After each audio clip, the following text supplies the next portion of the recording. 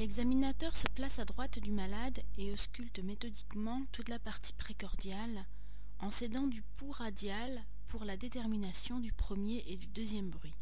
Quatre foyers ont été définis pour fournir un certain degré de standardisation. Le foyer aortique, le foyer pulmonaire,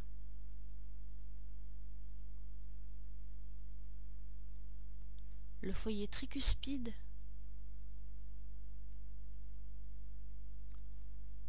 le foyer mitral,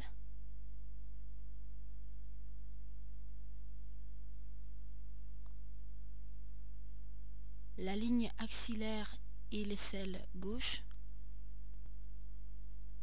le bord gauche du sternum, sans oublier les carotides, les creux susclaviculaires